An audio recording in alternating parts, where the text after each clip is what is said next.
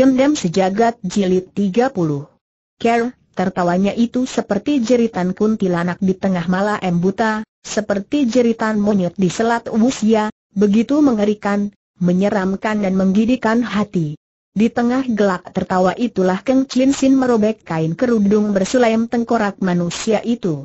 Kemudian tangannya yang lain segera mencakar pula raut wajah yang jelek dan menyeramkan itu. Seret titik. Tahu-tahu di tangannya topeng kulit manusia. Telah bertambah dengan selembar. Paras muka si pedang emas Chia Tiong Giok, Cheng Hang Mi Tan Chiu KHI Sinda M Siang Bin Tok Osoh Sat segera berubah menjadi pucat pia seperti mayat, bibir mereka hijau mim besi, sementara sepasang kaki mereka gemetar keras sekali. Dilihat dari sini, dapat diketahui betapa tegang, ngeri dan seramnya mereka bertiga. Keng Chin Sin masih tetap berparas cantik jeli tampak bidadari dari kahyangan, rambutnya yang hitam terurai sebahu berkibar terhembus angin, di antara alis matanya yang indah nampak sepasang biji matanya yang murung dan sedih. Penampilan perempuan itu seperti teratai putih dalam kola M, masih nampak begitu suci bersih dan anggun. Kulit tubuhnya seperti juga dulu, begitu putih, bersih dan menawan hati. Hanya saat ini wajahnya dingin seperti es, bahkan disertai pula dengan selapis hawa pembunuhan yang menggidikan hati. Sepasang matanya Mi mancarkan sinar tajam menggidikan, sorot metu itu Mi mancarkan sinar buas, keji dan sadis yang Mi bikin hati orang terasa bergidik bila Mi mandangnya. Dengan suara sedingin es, Keng Chin Sin berkata lagi, mimpi pun kalian tak pernah menyangka bukan kalau aku masih hidup segar bugar di dunia ini. Heh heh, heh, sekarang tentunya kalian sudah tahu bukan perempuan yang telah kalian gagai secara bergilir, kini akan menuntut apa dari kalian laki-laki terkutuk. Kalian anggap aku hanya akan merenggut jiwa anjing kalian saja? Haa, haa tidak. Aku bukan hanya menginginkan jiwa kalian, aku akan melimpahkan semua penderitaan dan siksaan lahir batin yang telah dialaminya di masa lalu ke atas tubuh kalian, bahkan akan menyuruh kalian merasakan penderitaan yang lebih hebat, siksaan yang berlipat ganda lebih dahsyat daripada apa yang pernah dialaminya dulu. Kini si pedang emas Chia Tiong Giok sekalian sudah dicekam oleh perasaan tegang dan seram, mereka terbungkam dalam seribu bahasa, sebab apa yang diucapkan semuanya merupakan kenyataan. Dari mereka yang hadir di tengah arna sekarang, kecuali Pek Kitam Chuhe E Jin Bok seorang yang tak pernah memperkosanya, dalam kenyataan hampir semuanya pernah merasakan hangatnya tubuh gadis tersebut. Terutama sekali si pedang emas Chia Tiong Giok, dialah orang pertama yang menghancurkan kehidupan yang suci, Sedangkan Cheng Hang Mi Tan dan Siang Bin Tok Eci merupakan orang yang mengusulkan agar gadis itu digagai secara bergilir oleh setiap manusia laknat yang berminat seperti seorang pelacur. Dengan metu kepala sendiri mereka saksikan bagaimana Hei E Jin Bok yang tidak ikut memperkosa gadis itu pun mengalami nasib yang tragis, maka dari sini bisa dibayangkan betapa seram dan brutalnya siksaan serta penderitaan yang bakal dialimpahkan terhadap mereka semua. Enam orang Hiang Chu yang masih berguling di tanah sambil mengerang kesakitan itu merasa makin ketakutan lagi setelah mengetahui bahwa manusia berkerudung warna-warni yang berada di hadapan mereka sekarang ternyata tak lain adalah Keng Chin Sin, murid perempuan Kiong Chu mereka. Kini mereka lebih putus asa, lebih ngeri dan ketakutan lagi. Mereka tahu, Keng Chin Sin tak nanti akan merenggut nyawa mereka dengan begitu saja sehabis memotong sepasang kaki mereka, sudah pasti tidak akan memberikan yang paling brutal dan paling kejam di dunia ini untuk menyiksa lahir batin mereka sebelum akhirnya mencabut nyawa mereka setelah sepasang kaki mereka dipenggal tadi, mereka masih tak ingin segera bunuh diri, mereka berusaha untuk mempertahankan kehidupan mereka. Tapi sekarang, setelah menyaksikan orang itu adalah Keng Chin Sin, serta merta ingatan itu pun turut lenyap tak berbekas dari dalam benak mereka. Daripada harus tersiksa dan menderita luar biasa sebelum mati, lebih baik menghabisi jiwa sendiri agar bisa lolos dari siksaan hidup tersebut. Salah seorang di antaranya keenam orang Hiang Chu itu segera meronta bangun, menghimpun segenap tenaganya ke dalam telapak tangan kanan, kemudian sekuat tenaga dihantamkan ke atas ubun-ubun sendiri. Jeritan ngeri yang memilukan hati bergema memecahkan keheningan, orang itu telah menghabisi nyawa sendiri dengan batok kepalanya hancur lebur tak karuan lagi bentuknya. Menyusul kemudian jeritan ngeri berkumandang saling susul menyusul. Mengikuti jeritan ngeri tadi, enam orang Hiang Chu tersebut bersama-sama menghajar batok kepala sendiri sampai hancur, sementara nyawa mereka yang kotor dan penuh dosa itu pun turut meninggalkan dunia yang ramai ini. Tak terlukiskan amarah Keng Chin Sin menyaksikan orang-orang itu menghabisi nyawa sendiri, saking gusar dan mendongkolnya ia segera mendongakkan kepalanya dan tertawa seram. Saat itulah dalam benak si pedang emas Chia Tiong Giok bertiga terlintas satu ingatan yang sama kabur begitu ingatan tersebut melintas lewat serentak ketiga orang itu membalikan badan dan melejit ke arah udara. Arah yang diambil ketiga orang itu untuk kabur ternyata berlawanan semua, In, Iah Care yang telah dilatih secara baik oleh setiap anggota istana Hawanan Mokyong di La MH dengan mengambil arah yang berlawanan di dalam usahanya untuk melarikan diri, otomatis pihak lawan akan dibikin kebingungan, ini berarti paling tidak ada satu di antara mereka akan berhasil meloloskan diri dengan selamat. Keng Chin Sin adalah anggota istana Hawanan Mo Hyong, sudah barang tentu dia pun mengetahui ciri khusus dari orang-orang Hawanan Mo Hyong untuk meloloskan diri dari bahaya tersebut. Pada saat ketiga orang itu akan menggerakkan badannya untuk melarikan diri. Keng Chin Sin tertawa dingin, tubuhnya secepat sambaran kilat menyelinap ke samping menghadang jalan pergi Cheng Hang Mi Tam Chin Kahai Sin.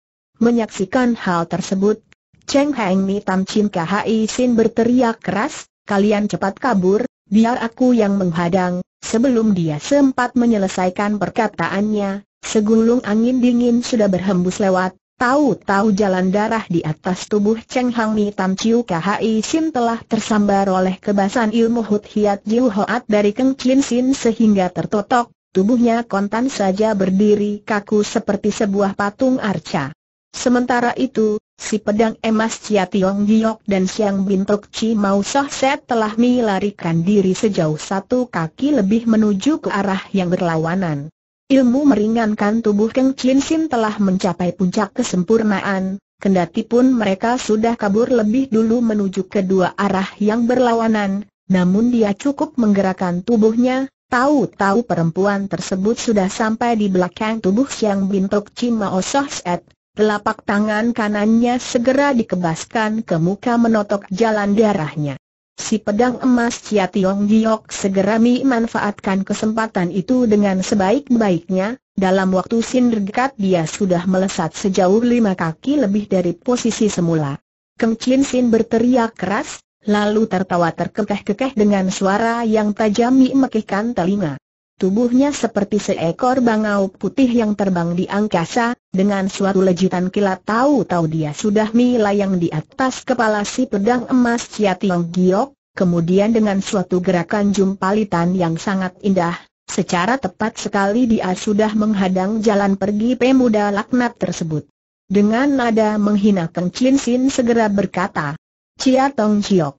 Katanya seorang lelaki jantan yang luar biasa, Tak taunya penampilanmu pada hari ini sungguh memalukan, tak kusangka kalau kau cuma seorang pengecut yang bernyali begini kecil, mengapa kau jadi ketakutan setengah mati setelah bertemu denganku?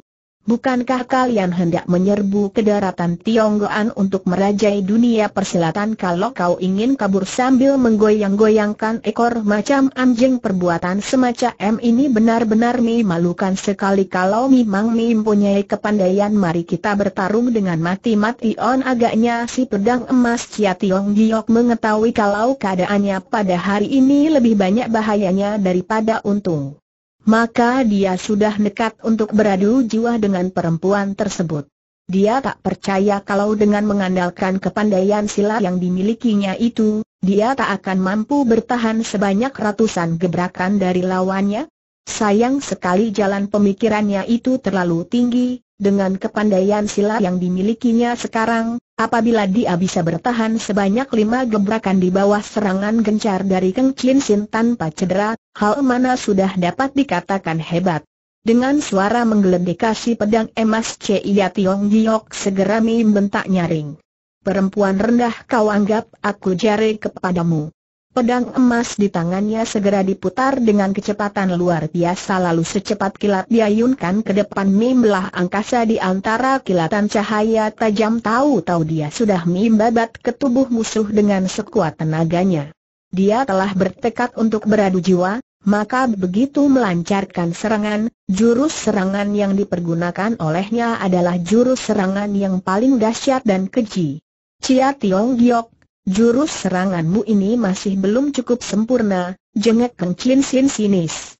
Di tengah pembicaraan, tubuhnya sudah berputar dan keluar dari lingkaran cahaya pedang tersebut, kemudian telapak tangannya diayunkan ke depan, segulung tenaga serangan yang dahsyat merasuk ke dalam tulang segera menekan ke atas dadanya, Mi maka S. Acia Tiong Giok mundur sejauh dua langkah lebih. Dia tertawa seram, Cahaya pedangnya berputar bagaikan gulungan ombak di tengah sungai Tiangkang, dengan membawa hawa pedang yang dingin minusuk tulang, dia bendung sekeliling tempat tersebut dengan serapat-rapatnya. Sayang sekali Keng Chin Sin bukan anak kembaran sore, kepandaian silat yang dimilikinya benar-benar amat lihai dan luar biasa sekali. Sekali lagi tubuh perempuan itu menerobos keluar melalui kurungan hawa pedang musuh yang berlapis-lapis itu dan menyelinap ke samping, lalu telapak tangan kirinya diayunkan ke depan menghajar jalan darah Tian Ki Hiat di tubuh lawan. Chia Tiong Giok, jurus serangan itu itu lagi-lagi akan mendesakmu mundur sejauh tiga langkah ejeknya ketus. Si pedang emas Chia Tiong Giok memang menurut sekali dengan perkataannya, Tiba-tiba dia membuyarkan serangan pedangnya dan mundur sejauh tiga langkah dengan sempoyongan. Oleh keadaan seperti itu, Cia Tiong Giok benar-benar dibikin gusar setengah mati, pedang emasnya segera diayunkan ke atas menyambar ke bawah dengan kecepatan luar biasa, hawa pedangnya yang bergulung-gulung dan berlapis-lapis seperti biang lala di angkasa, semuanya mengancam ke atas jalan darah kematian di tubuh Keng Chin Sin. Sementara itu telapak tangan kirinya juga tidak ambil diam, dengan cepat dia melepaskan segulung hawa serangan dingin yang maha dahsyat, hawa pukulan bagaikan amukan angin puyuh itu segera menggulung ke tubuh Keng Chin Sin dan memaksanya miring ke samping untuk menghindar. Perlu diketahui, ilmu pedang dari Lam Hewan Mokiong merupakan ilmu pedang yang tiada tandingannya di dalam dunia persilatan dewasa ini. Setelah Chia Tiong Giok mengeluarkan ilmu pedang gabungan dengan ilmu pukulannya yang luar biasa itu maka kedahsyatannya menjadi berlipat ganda. Semua ancamannya boleh dibilang cukup menggetarkan sukma setiap orang. Hawa nafsu membunuh segera menyelimuti seluruh wajah Keng Chin Sin, dengan suara dingin ujarnya kemudian. Di dalam serangan yang akan kulancarkan kali ini, Aku akan menggunakan tenaga pukulanku untuk mimaka esamu mundur sejauh satu kaki lebih tanda seru sembari berkata, telapak tangan kanannya berputar dan melontarkan pukulan dengan suatu gerakan yang sangat aneh, hawa pukulan seperti rentetan suara bunyi mercon yang meledak di angkasa, dengan cepatnya meluncur ke udara dan menyongsong kedatangan hawa pedang serta angin pukulan lawan yang luar biasa itu. Bla mmm suatu ledakan dahsyat yang memekikan telinga segera berkumandang memecahkan keheningan. Si pedang emas Chia Tiong Giok mendengus tertahan, tubuhnya benar-benar terpental sejauh satu kaki lebih dari posisi semula. Hawa pukulan yang menyebar ke empat penjuru segera berputar kencang menciptakan desingan angin berpusing yang menderu-deru. Tubuh Keng Chin Sin berputar, dan berkelebat seperti sambaran bayangan setan, Telapak tangan kirinya kembali diayunkan ke depan sembari membentak keras.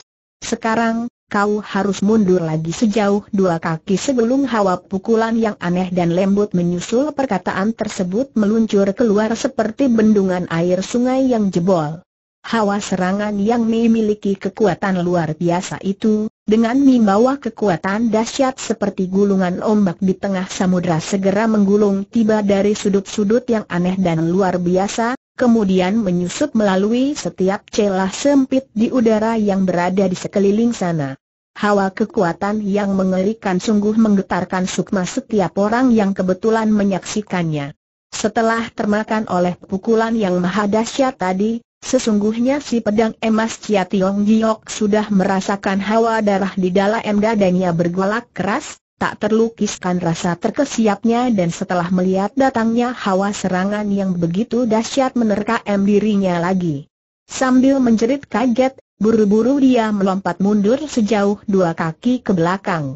Serangan yang dilancarkan Keng Chin Sin sekarang sungguh aneh sekali, Kekuatan tersebut memaka esa musuhnya hanya bisa melompat mundur ke belakang dan tak mungkin melejit ke samping untuk meloloskan diri dari ancaman mana. Begitulah, menyusul dilontarkannya serangan yang maha dahsyat tadi, Keng Chin Sin ikut pula melompat maju ke depan, katanya kemudian sambil tertawa dingin. Setelah melompat mundur kembali ke posisi semula, maka kau pun tak usah pergi ke mana-mana lagi silahkan saja berdiri terus untuk selamanya di sini. Si pedang emas Tiong Giok tahu kalau nasib jelek telah berada di depan mata, dia mendengus gusar, pedang emasnya segera diputar menciptakan cahaya bintang yang segera mengurung seluruh jalan darah penting di tubuh Keng Chin Sin. Melihat datangnya jurus serangan tersebut Kang Chin Sin segera memutar tubuhnya dan menyelinap ke sisi kiri lawan. Waktu itu Chia Tiong Giok masih tetap berdiri tegak di posisi semula, tiba-tiba pedang emasnya direndahkan ke bawah lalu melalui suatu sudut yang aneh dia berbalik menusuk jalan darah di Hai Hiat serta Seng Tiong Hiat di tubuh lawan. Perubahan jurus ini dilakukan dengan suatu gerakan yang aneh, ganas, buas dan membuat orang lain sama sekali tak menduganya. Sementara itu, selisih jarak antara kedua belah pihak sudah semakin bertambah dekat, gerakan tubuh yang dilakukan juga. Semakin cepat, nampaknya Keng Chin Sin segera akan terkena sambaran cahaya emas lawan. Mendadak terdengar suara benturan nyaring yang mimikikan telinga. Bersama itu juga, cahaya emas yang berkilauan di angkasa tadi lenyap tak berbekas. Entah terkena ilmu serangan apakah yang digunakan oleh Keng Chin Sin, tahu-tahu pedang emas di tangan Chia Tiong Giok sudah kena terhajar sampai jatuh ke tanah, malahan jalan darahnya kena disambar pula sehingga tubuhnya berdiri kaku bagaikan sebuah patung arca.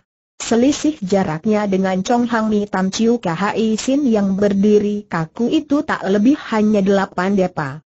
Dengan kening berkerut dan wajah menunjukkan sikap buas dan kejam, Keng Chin Sin berkata dengan suara dingin. Sekarang, aku akan mempersilahkan kau untuk menyaksikan dulu, bagaimana caraku menjatuhi hukuman yang paling kejam atas diri Cheng Hang Mitan serta Siang Bin Tok Chi. Seusai berkata, pelan-pelan Keng Chin Sin berjalan menuju ke samping Siang Bin Tok Chi yang berada sejauh satu kaki di depan sana, Telapak tangannya segera diayunkan dan segulung tenaga lembek segera mendorong tubuh Mao Soh Set tersebut menggelinding ke arah di mana kedua orang rekan lainnya berdiri kaku. Ketika Keng Chin Sin menggaep dengan ujung kaki kirinya, tubuh Siang Bin Tok Chi Mao Soh Set pun berdiri kaku kembali di situ. Sekarang posisi dari mereka bertiga membentuk sudut segitiga, enam buah mata saling berpandangan satu sama lainnya dengan jelas sekali. Perasaan tegang dan seram menghadapi saat kematian dengan jelas tertera di atas wajah-wajah mereka. Sikap tersebut terlihat lebih jelas lagi dari balik keenam sorot mati mereka yang sayu itu. Dengan pandangan yang tajam Keng Chin Sin memperhatikan sekejap wajah ketiga orang itu, Kemudian ujarnya sambil tertawa dingin, bagaimana? Dengan perbuatan kalian manusia-manusia laknat yang tak takut langit tak takut bumi, perbuatan jahat apa pun berani dilakukan semaunya sendiri, apakah sekarang menjadi ketakutan menghadapi saat kematian kalian? Mengapa tidak kalian pikirkan sekarang, di saat kalian hendak membunuh orang lain, Bagaimanakah perasaan korban-korban kalian menjelang saat ajalnya? Inilah yang dinamakan pembalasan. Karena kalian terlalu kejam, terlalu buas dan tak berperi kemanusiaan, maka aku pun tak akan membiarkan kalian mampus secara gampang dan enak. Waktu itu, tentunya kalian tak pernah menyangka bukan, kalau aku bisa berumur begini panjang. Terus terangku beritahukan kepada kalian, mungkin roh-roh dari para perempuan lain yang mati karena kalian perkosa telah membantuku secara diam-diam, maka kini aku memiliki kekuatan yang luar biasa untuk menjatuhkan hukuman atas diri kalian semua. Aku bersumpah akan meratakan istana Hawanan Mokyong dengan tanah, akan kubantai setiap manusia laknat yang berada di situ hingga ludas, tak seorang pun di antara mereka yang akan kubiarkan hidup dengan bebas merdeka perasaan kaget, ngeri dan seram mancar keluar dari balik mata ketiga orang itu, paras muka mereka menjadi pucat pias seperti mayat. Si pedang emas Cia Tiong Giok paling seram keadaannya, noda darah meski membasahi ujung bibirnya, rambutnya kusut terurai tak karuan wajahnya menyeringai seram. Jalan darah mereka sekarang sudah tertotok, tidak mungkin bagi mereka untuk mencaci maki kalang kabut yang bisa mereka lakukan kini hanya memutar biji matanya ke sana kemari dengan wajah mengerang keras. Berada dalam keadaan seperti ini, mereka hanya bisa pasrah kepada nasib, terserah perbuatan dan siksaan apa saja yang akan dilimpahkan ke atas bahu mereka. Dengan suara sedingin es, Keng Chin Sin berkata lagi, tentu saja aku dapat menjatuhi hukuman kepada mereka sesuai dengan berat ringannya kesalahan yang telah mereka lakukan. Kalian bertiga merupakan manusia-manusia keji yang berdosa paling besar, kalian pun harus tahu. Hukuman macam apakah yang bakal kalian terima atas perbuatan yang pernah kalian lakukan selama ini keadaan dari Keng Ching Sin pada saat ini tak ubahnya seperti seorang raja akhirat, seorang raja akhirat yang sedang memeriksa roh-roh berdosa. Pelan-pelan dia berjalan maju ke hadapan Cheng Hang Mi Tam Chin Khai Sin, kemudian M ujarnya sambil tertawa dingin. Ciu Khai Sin, kau dan Mao San akan mengalami nasib yang sama. Tentunya kalian tahu bukan kalau dalam dunia persilatan terdapat semacam ilmu-ilmu menyiksa badan yang dinamakan KHIM Chiok Meh. Mimin Insinyur Urat Mimotong Nadi begitu mendengar nama tersebut, paras muka Cheng Hang Tan dan Siang Bin Tok Chi berubah hebat sekali, rasa kaget, seram dan benci bercampur aduk di atas wajah mereka. Keng Chin Sin tertawa rendah, kembali ujarnya. Kalian tak usah khawatir, aku tak mempergunakan ilmu KHIM Ciat Moh untuk menghukum kalian, tapi akan kugunakan ilmu menyiksa. Badan yang sepuluh kali lipat lebih keji dari ilmu Kim Ciat Moh itu untuk menghukum kalian semua. Kepandaian tersebut merupakan hasil ciptaanku sendiri, aku menyebutnya sebagai ilmu Cui Sisan Hun, melumat mayat penghancur sukma. Tentunya kalian merasakan kalau nama tersebut kelewat seram bukan? HMM, seperti apa yang kalian saksikan dengan kedua orang Hiang Necu tadi, mereka pun merasakan ilmu milumat mayat penghancur sukma tersebut cuma saja mereka merasakan cincangan tersebut setelah menemui ajalnya, sedangkan kalian akan merasakan cincangan tersebut di saat kalian masih hidup setelah mendengar perkataan tersebut, Ciu Khai Sin maupun Mao Soh Set merasakan hatinya amat terkesiap, wajahnya mengejang keras dan menunjukkan penderitaan serta siksaan batin yang luar biasa. Bibir mereka bergerak seperti ingin mengucapkan sesuatu, namun tak sepatah kata pun yang mampu diutarakan keluar. Mereka seolah-olah hendak berkata begini, Keng Chin Sin, mengapa kau bersikap begitu kejam dan tak berperikai manusiaan? Tampaknya Keng Chin Sin memahami maksud hati mereka, ujarnya sambil tertawa dingin. Untuk menghadapi manusia manusia laknat seperti kalian, aku harus menggunakan care yang paling keji pula untuk menyiksa kalian, dengan begitu semua dosa dan kesalahan yang pernah kalian lakukan baru memperoleh pembalasan yang setimpa el. Dan di dalam penitisan sekalian yang akan datang, tak berani melakukan kejahatan lagi. Sewaktu kalian menyiksa diriku TMPO hari, apakah kalian tidak merasa kalau perbuatan kamu semua itu jauh lebih kejam dan tak berperi kemanusiaan daripada yang kulakukan sekarang? Tahukah kalian? Semenjak aku kehilangan kesucian badanku, selama hidup aku tak dapat mencuci bersih aib serta noda yang melekat di atas tubuhku. Sekalipun aku telah membalas dendam kepada kalian sekarang namun kebahagiaan hidupku kini telah kalian hancurkan. Oleh sebab itu, kalian harus menerima siksaan dan penderitaan ini dengan berani, Sebab dengan begitu maka roh kalian setelah mati nanti akan bebas dari siksaan dan penderitaan selesai mendengarkan perkataan itu. Paras muka Mirka yang pucat pias itu berubah semakin mengenaskan, kulit muka Mirka mengejang keras penuh penderitaan, mata menjadi merah dan rambut terurai kaku, keadaan mereka sungguh mengerikan sekali. Si pedang emas Chia Tiong Giok pun sadar, apalagi setelah mendengar perkataan Keng Chin Sin yang keji dan tidak berperasaan itu, dia mengerti bahwa siksaan yang akan diterima olehnya sudah pasti berlipat kali lebih hebat daripada siksaan yang RDI terima rekan-rekannya. Tapi jalan darahnya sekarang tertotok, dia sudah tak mampu bergerak lagi, dalam keadaan begini, dia hanya berdoa dalam hati kecilnya, Moga-moga ada orang yang datang ke situ dan menyelamatkan jiwanya. Keng Chin Sin sendiri boleh dibilang sudah tidakkah mengenal belos kasihan lagi terhadap musuh-musuh besarnya itu, sebab penderitaan dan siksaan yang telah diterimanya selama ini benar-benar terlalu keji dan tak kena elam pun. Ujarnya kemudian sambil tertawa dingin. Cheng Hang Mitan, Xiang Bin Tok Chi sekarang dipersilahkan kalian rasakan bagaimana nikmatnya ilmu Cui Sui San Hun tersebut selesai berkata, sepasang telapak tangannya beruntun menotok beberapa buah jalan darah di tubuh kedua orang itu, kemudian telapak tangan kanannya menambahi, dengan sebuah tekanan berat ke atas jalan darah KHIP hiat mereka. Tentu saja Cheng Hang Mi Tan dan Xiang Bin Chi tak mampu untuk menghindarkan diri dari serangan maut tersebut, mereka hanya bisa pasrah pada nasib dan menerima hukuman tersebut. Pada saat Keng Chin Sin memberi tekanan dahsyat di atas jalan darah KHI Hiat mereka itulah. Kedua orang tersebut segera merasakan di dalam urat nadi mereka seperti timbul suatu kekuatan yang seolah-olah mencabik-cabik seluruh isi perutnya, Peredaran darah pentingnya jadi tersembat dan di dalam tubuh mereka seakan-akan muncul berjuta-juta ekor semut gatal yang menggigit sekujur tubuh mereka, sakitnya bukan kepalang. Penderitaan semacam ini sungguh tak terlukiskan dengan kata-kata, seakan-akan terdapat sebilah pedang tajam yang mencong ke elurat dan otot tubuh mereka, kemudian mencincangnya sedikit demi sedikit.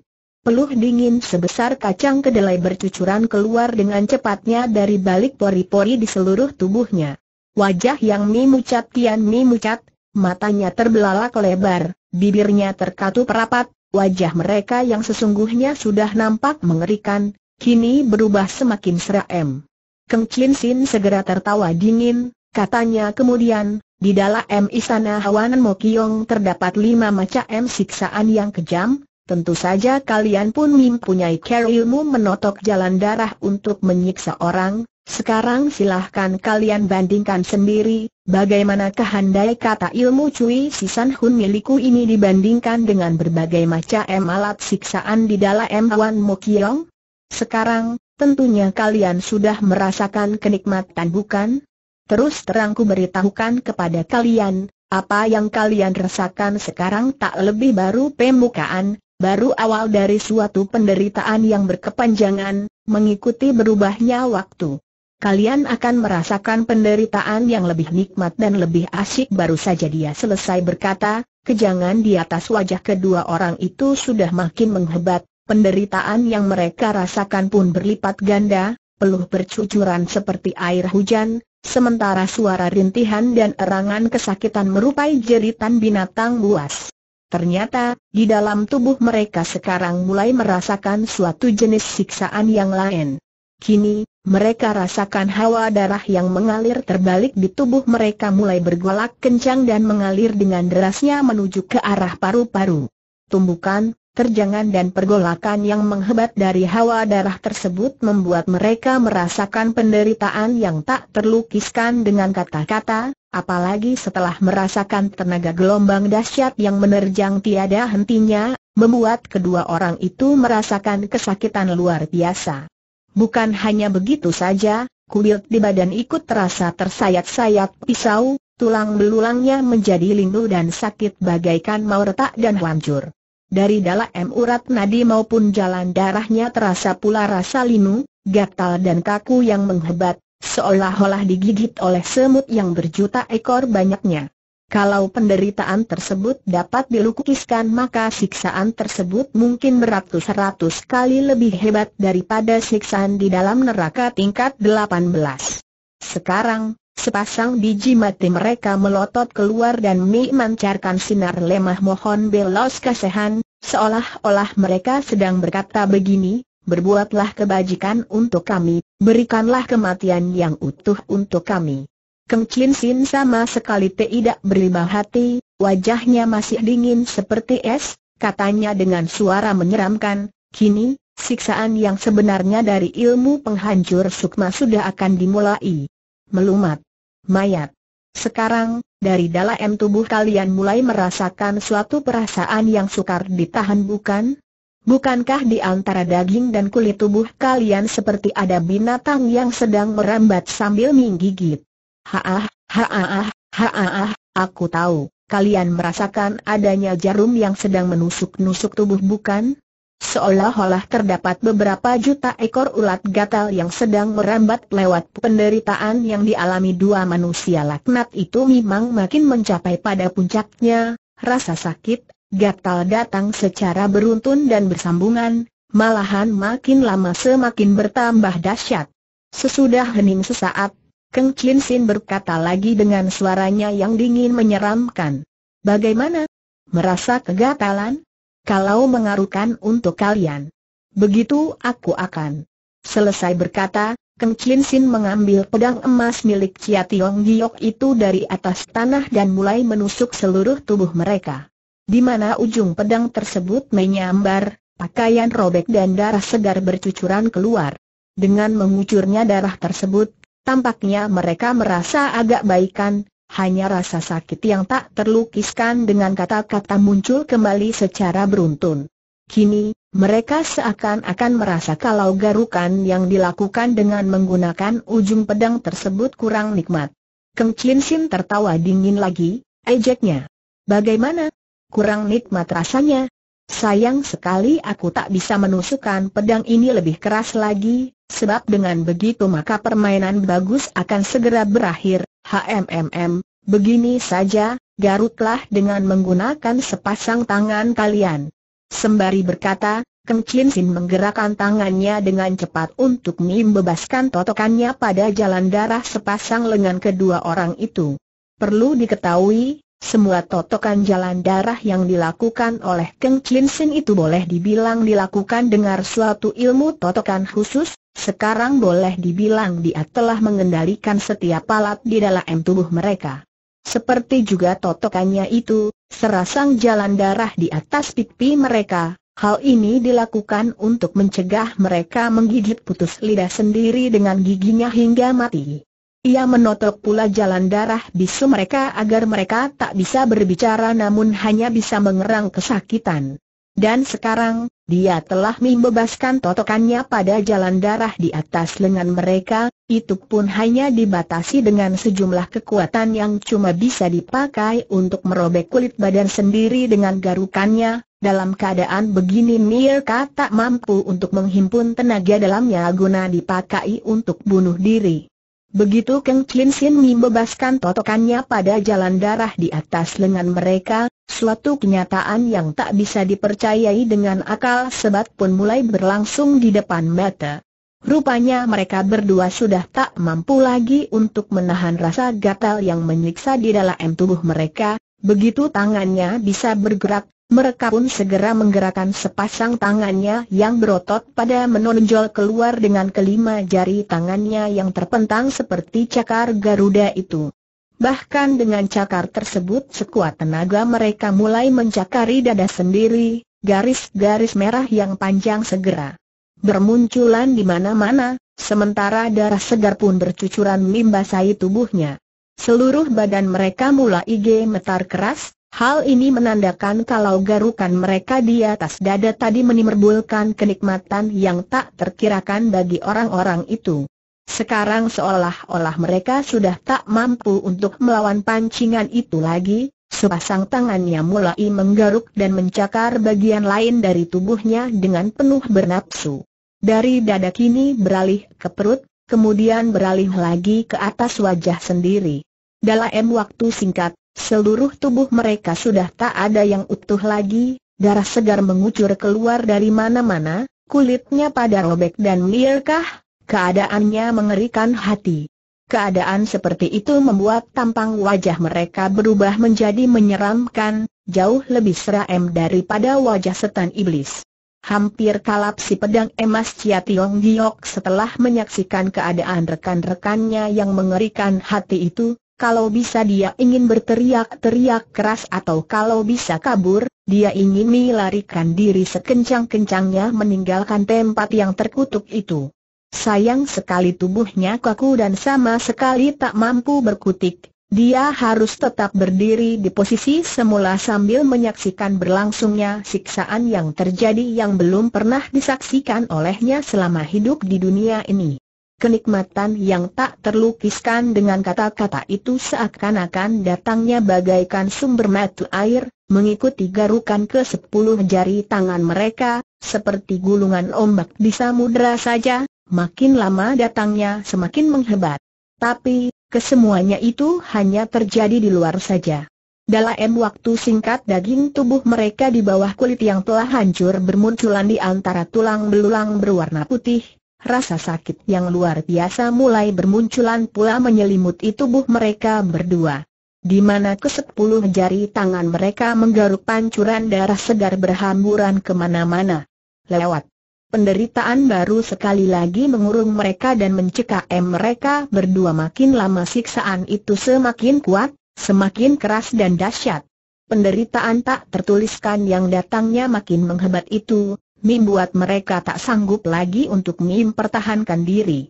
Dalam tubuh mereka seakan-akan muncul segulung daya tekanan dahsyat yang seperti hendak mengepres mereka jadi hancur, seperti hendak melumat tubuh mereka sehingga hancur berkeping-keping.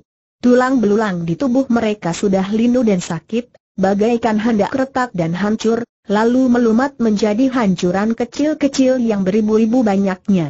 Keadaan seperti ini, memang tak salah lagi jika dikatakan sebagai milumat mayat penghancur sukma mereka sendiri yang menghancur lumatkan tubuh sendiri hingga hancur, mereka sendiri pula yang lumat sukma sendiri sehingga punah dan buyar.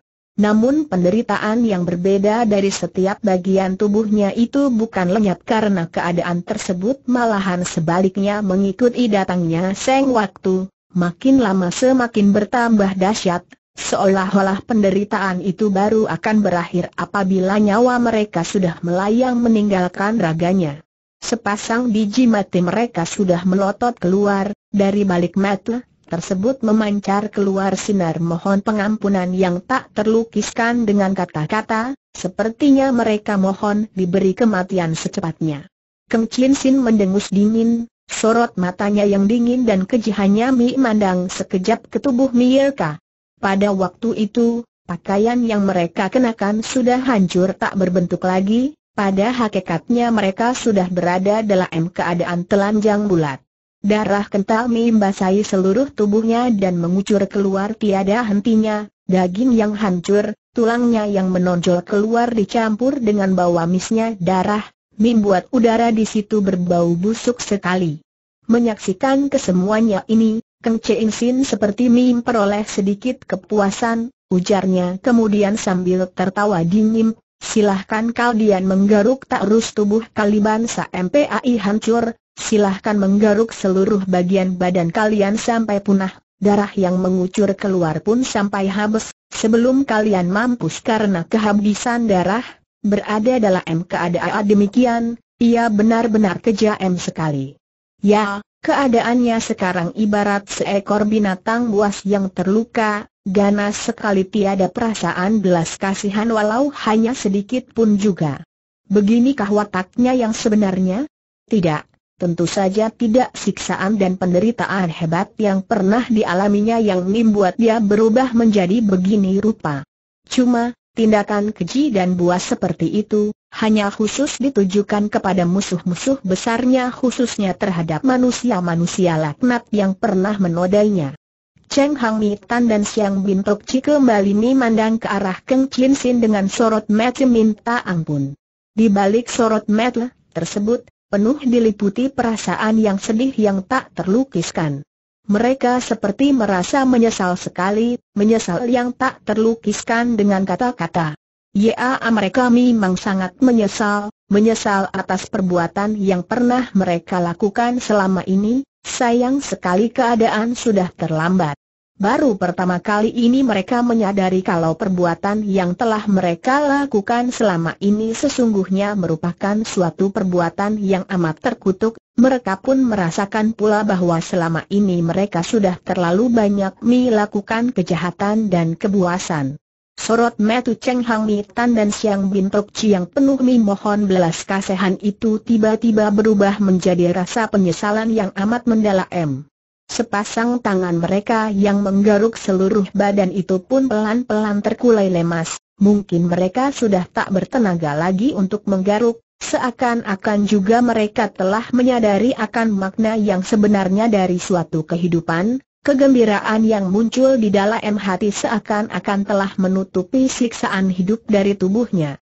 Yaa, dalam hati kecil mereka memang muncul kedua perasaan semacam itu hampir bersamaan waktunya. Saat menjelang berakhirnya kehidupan mereka di dunia ini, untuk pertama kalinya mereka merasa menyesal dan bertobat.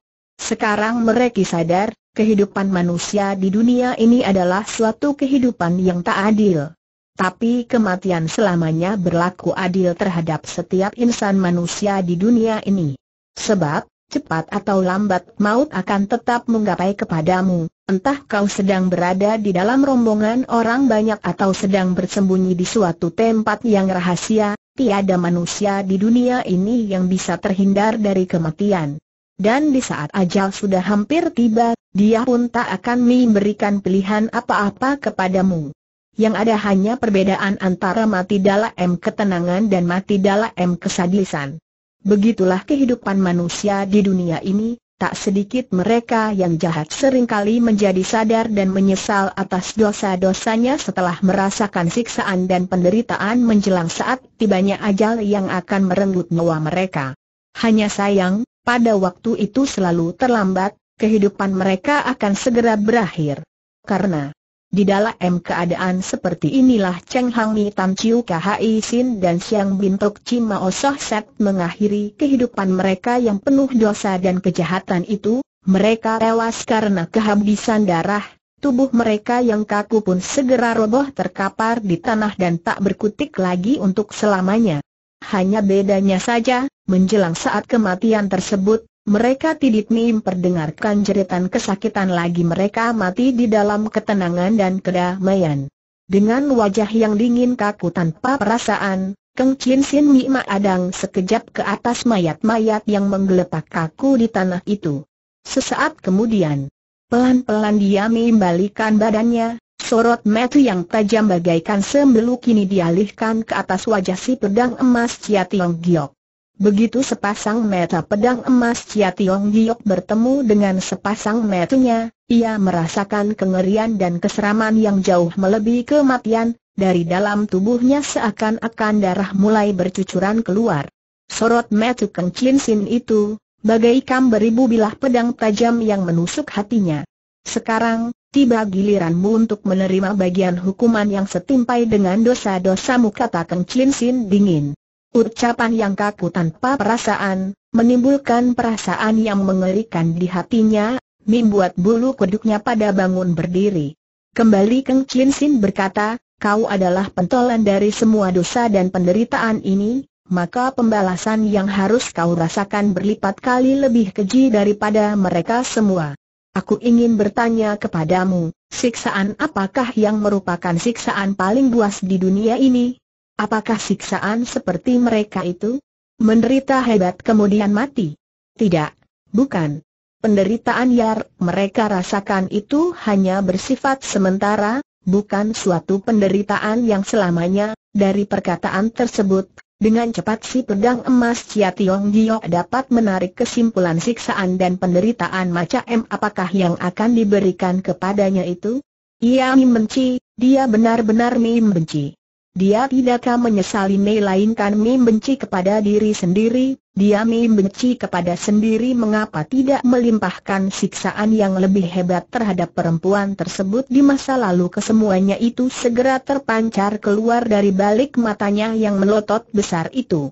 Sorot matanya dipenuhi dengan perasaan marah, menyesal, benci dan mindendam. Kembali Keng Chin Sin berkata dengan suara sedingin es gara-gara perbuatanmu, hidupku menjadi tersiksa, menjadi menderita untuk selama-lamanya, kau telah memberikan penderitaan yang berkepanjangan kepadaku, oleh sebab itu sekarang aku pun akan memberikan penderitaan sepanjang hidup untukmu.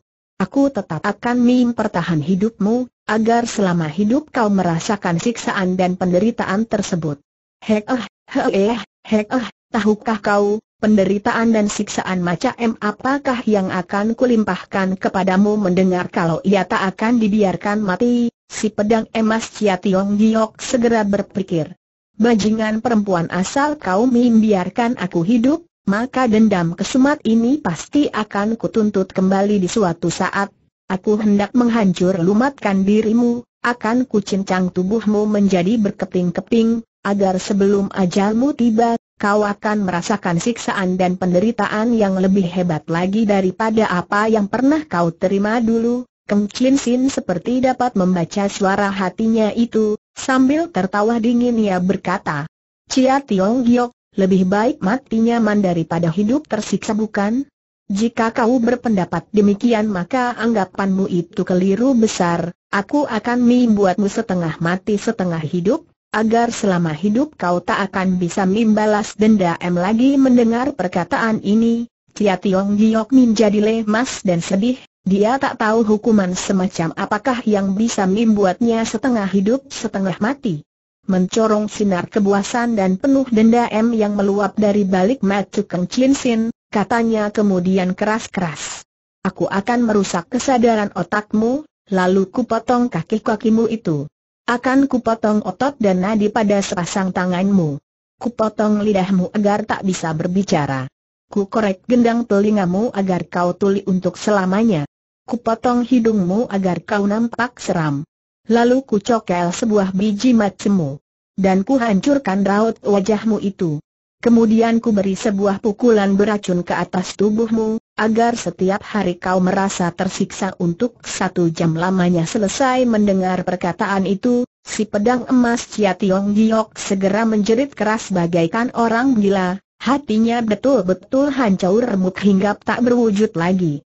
Siksaan semacam ini benar-benar kelewat keji dan sama sekali tak berperi kemanusiaan.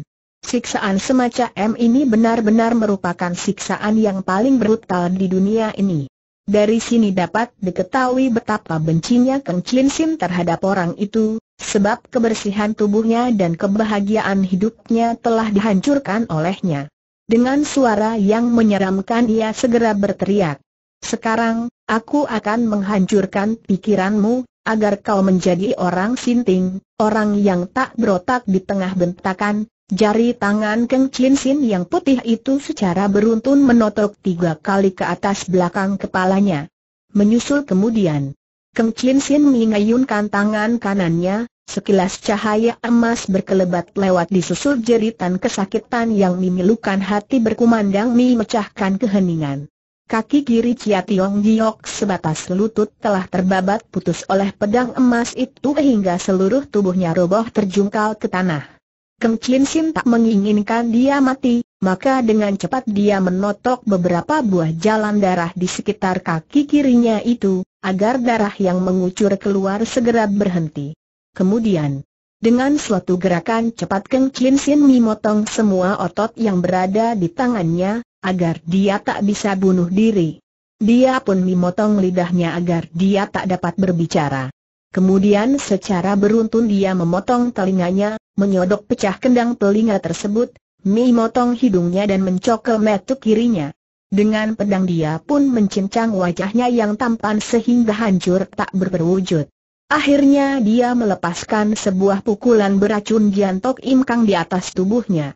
Ilmu pukulan beracun ini tak akan membuat orang menjadi mampus, tapi akan mendatangkan siksaan dan penderitaan yang luar biasa, setiap hari akan kambuh selama satu jam. Gelak tertawa yang seram dan menusuk pendengaran segera berkumandang mi menui seluruh angkasa. Akhirnya Keng Ching Sin berangkat meninggalkan tempat itu. Walaupun dia telah melampiaskan perasaan dendam dan bencinya, namun semua perbuatannya itu tidak mendatangkan manfaat apa-apa terhadap kesucian tubuhnya.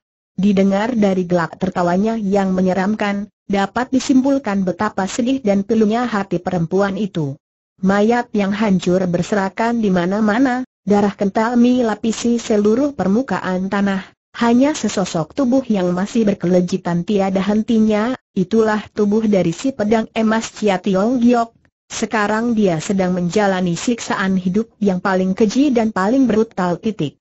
Walaupun dosa dan penderitaan tersebut harus diterimanya sebagai buah dari semua kejahatan dan kebusukan yang pernah dilakukannya selama ini tapi kebrutalan, kekejaman, kesadisan serta kebuasan yang tertera di depan mata sekarang, cukup membuat orang merasa tak tega dan ngeri.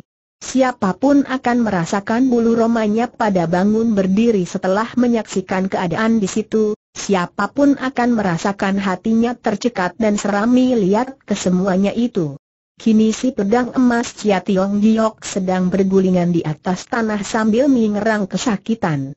Rambutnya terurai kalut, wajahnya penuh dibasahi oleh darah segar, wajahnya yang jelek dan menyeramkan jauh lebih mengerikan daripada wajah setan iblis.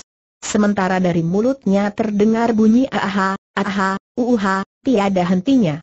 Suara tersebut cukup mengibakan hati siapa pun mendengarkan, cukup menimbulkan rasa kasihan orang. Yang Yaa, beginilah akhir dari seorang yang terlalu banyak melakukan kejahatan. Dia bergulung krian kemari, berguling menuruni bukit tersebut untuk merasakan siksaan dan penderitaan sepanjang masa hidupnya. Sinar kimas emasan telah condong ke langit barat, saatnya senjami menui seluruh angkasa.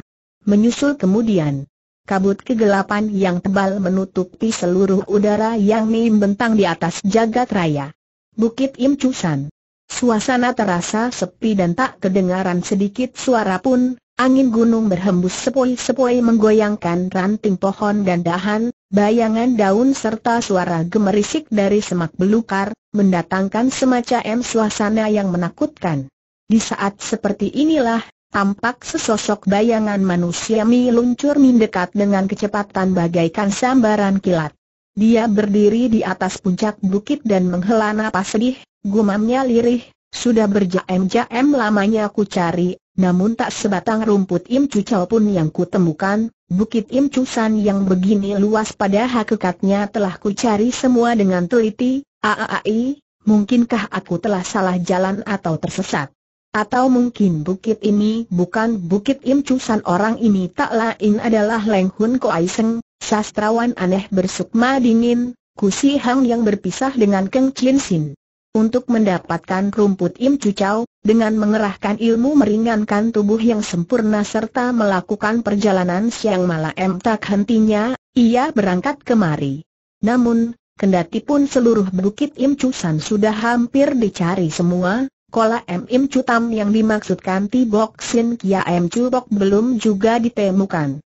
Malam itu awan tipis dan bintang amat jarang, suasana di sekeliling tempat itu sunyi senyap dan tiada kedengaran sedikit suara pun. Tapi di balik kesemuanya itu, secara lamat-lamat justru secara mengandung hawa pembunuhan yang mengerikan hati. Dengan sorot mata yang tajam bagaikan sambaran kilat, Kusihang mengawasi sekeliling tempat itu. Di mana-mana batu gunung berdiri berserakan dengan pepohonan cemara yang menjulang ke angkasa, keadaannya sangat menyeramkan. Di tengah kegelapan malam, sekeliling situ seolah-olah penuh dengan bayangan setan yang setiap saat bakal muncul saja. Kesemuanya itu mendatangkan semacam perasaan seram, ngeri dan memedihkan hati. mendadak mencorong sinar tajam yang memancarkan sinar kebencian dari balik mata Ku Si Hong, serunya tiba-tiba, jangan-jangan Tibok Sin Kia M Cubok sengaja membohongi aku agar dia dapat meloloskan diri. Mendadak. Serentetan suara tertawa dingin yang menyeramkan bergema memecahkan keheningan dan memotong gumamannya itu. Suara tertawa dingin yang amat mengerikan hati bagaikan segulung angin dingin yang berhembus keluar dari gudang salju. Dengan suara adalah Mku Si Hang Mi bentak keras, setan dedemit dari mana yang telah hadir di sini? Mengapa tidak segera menempahkan diri baru selesai dia membentak, dari beberapa puluh kaki di hadapannya muncul sesosok bayangan manusia yang meluncur tiba dengan kecepatan bagaikan sambaran kilat. Kusihang menjerit kaget. Haah, rupanya kau. Sudahkah kau temukan rumput Im Cucau tersebut? Rupanya orang yang baru saja munculkan diri itu adalah Tibok Sin Kia M Cupok. Sambil mencibirkan bibirnya dia perdengarkan suara tertawa seram yang penuh kelicikan, katanya. Kusute, sudah lama rupanya kau sampai di sini, oleh karena aku khawatir Sute tak berhasil menemukan rumput Im Cucau tersebut, maka aku khusus datang kemari untuk memberi petunjuk, baru saja sampai di sini, aku telah bertemu dengan Sute. Coba kalau Sute tidak mengeluarkan suara dari kejauhan sana aku pasti mengira kau sebagai setan dedemit atau orang jadi-jadianku si Hang segera mendengus dingin. HMM, benarkah di tempat ini terdapat rumput Im Cucau tegurnya kemudian, kembali Tibok Sin Kia M Cupok tertawa licik. Sute mengapa kau jadi banyak curiga sih? Masa aku akan bergurau denganmu? Apalagi kita toh melakukan suatu usaha barter. Rumput Im Cucau berada di sebelah sana, aku akan segera membawamu ke situ cuma, apakah Sute telah menurunkan isi bait lagu dari denda M sejagat tersebut di atas kertas asalkan rumput Im Cucau tersebut telah kutemukan, sudah pasti bait lagu denda M sejagat akan kuserahkan kepadamu seperti apa yang telah kita janjikan. Mendengar ucapan mana, Tibok Sin Kia M Cupok nampak agak tertegun, kemudian katanya sambil tertawa. Boleh aku bertanya kepada Sute, apakah bait lagu tersebut telah kasalin di atas kertas belum? Paras muka Tibok Sin Kian Cupok segera berubah sangat hebat, tapi hanya sebentar saja sudah lenyap tak berbekas, kembali dia berkata lagi, Kusute, mengapa kau begitu tak memegang janji? Seandainya bait lagu denda M sejagat tersebut telah kusalin, memangnya kalian hendak memegangnya?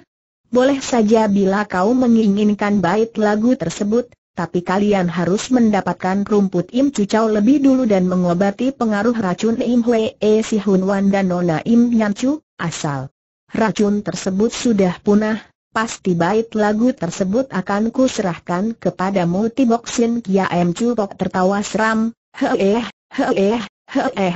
Kusute begitu menaruh curiga terhadap orang lain, kau anggap orang lain juga bersedia untuk mempercayai dirimu. Aku orang siku bukan manusia laknat sepertimu, yang sukanya melakukan pengkhianatan terhadap perguruan dan bicaranya menklah-menkletak bisa dipercaya mendengar perkataan itu, paras muka Tibok Sin Kia M Cubok segera berubah menjadi hijau mimbesi, serunya sambil tertawa seram, mana, mana. Kusute memang orangnya kelewat jujur dan berhati mulia, Tak usah banyak berbicara lagi, sekarang lebih baik segera membawa aku untuk mencari rumput Im Cucau tersebut Tibok Sin Kia M Cupok tertawa dingin. Heeh, heeh, heeh, Kusute, mengapa kau harus terburu nafsu? Baiklah, ikutilah aku apa yang dipikirkan olehku Si Hang sekarang adalah secepatnya mendapatkan rumput Im Cucau dan menyembuhkan racun cabul yang mengeram di dalam tubuh Im Chu. Boleh dibilang dia sudah kehilangan kecerdasan otak maupun ketelitian, kalau tidak sudah pasti akan dirasakan olehnya akan kelicikan serta kebohongan orang tersebut. Sementara itu, Tibok Kiam, pedang sakti kayu besi, Cupok telah berangkat menuju ke depan dengan kecepatan bagaikan sambaran petir. Kusihang mengikuti terus secara ketat di belakangnya, Diami buntuti dari jarak tiga kaki di belakang Tibok Sin Kia M Cupok. Di tengah kegelapan malam, terasa angin gunung berhembus kencang dan menggoyangkan daun ranting pohon di sekeliling tempat itu, bayangan aneh seperti didemit bermunculan di sana-sini dan seolah-olah sedang menantikan korban yang datang untuk menghantar kematian. Baik Tibok Sin Kia M Chupok maupun Ku Si Hong, kedua-duanya merupakan jago lihai kelas 1 dalam dunia persilatan, Ilmu meringankan tubuhnya telah mencapai tingkatan yang luar biasa sekali, tak selang berapa saat kemudian mereka berdua sudah melalui beberapa buah puncak bukit. Tak jauh di depan sana terdapat sebuah selat yang kedua belah sisinya terbentang dua bukit yang terjal, sejauh mata mandang hanya batuan cadas saja yang berserakan di mana-mana, makin ke dalam selat keadaan medannya semakin bertambah bahaya. Tak tahan lagi Ku Si Hang segera menegur. Hei, masih berapa jauh lagi oleh karena tengah hari tadi, Ku Si Hang merasa seakan-akan pernah sampai di situ dan waktu itu dia seperti tidak melihat adanya telaga di sana. Tibok Kia M Pok tertawa licik dengan seramnya. Heeh, heeh, heeh asal sudah masuk ke dalam selat nanti, kau toh akan mengetahui dengan sendirinya di tengah pembicaraan tersebut, Mendadak tubuh Cupok melejit ke tengah udara dan menerjang ke dalam lembah tersebut bagaikan seekor burung elang yang akan menerka emangsanya. Kusi Hang tidak curiga kalau ada tanda bahaya, dia ikut pula menerjang masuk ke dalam dengan kecepatan yang tak kalah hebatnya.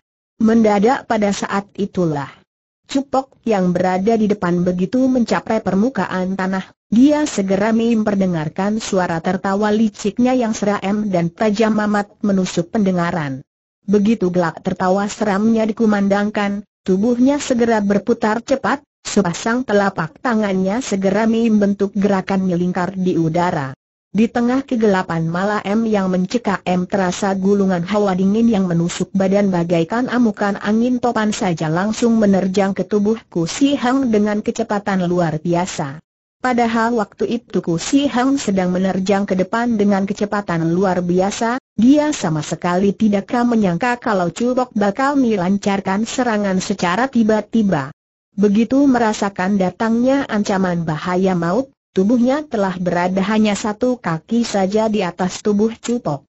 Sementara pukulan dahsyat bagaikan amukan angin puyuh tersebut telah menggulung tiba pula dengan kecepatan luar biasa.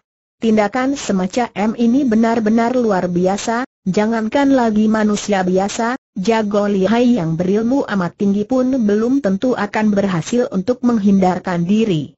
Orang bilang serangan secara terang-terangan dihindari, serangan secara gelap sukar diduga. Gampang. Segulung angin pukulan yang maha dahsyat itu secara telak segera bersarang di atas tubuh Ku Si Hong, namun Ku Sibong sama sekali tidak muntah darah dan mati, tubuhnya hanya melejit ke tengah udara, lalu seenteng selembar bulu segera melayang di tengah angkasa mengikuti berhembusnya angin serangan yang maha dahsyat itu.